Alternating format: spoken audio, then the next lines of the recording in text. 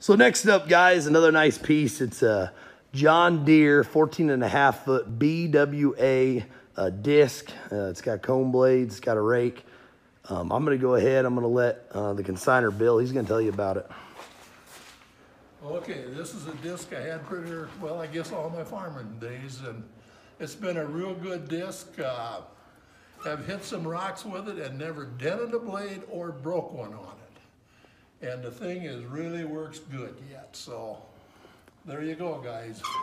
And you can see, I mean, his stuff's all stored inside, always stored inside. Yeah. He greases it, he maintains it.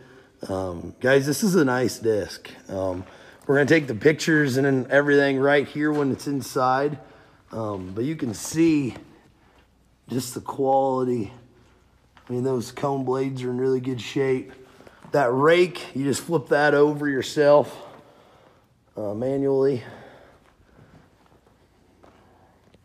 Got the auxiliary or the this hydraulic hookups there. Still got a nice cylinder on it. Rubber's in nice shape too. Um, just a nice disc. Definitely has a lot of a lot of life ahead of it, and it's it's field ready. I mean, it'll be ready to go here. So, so.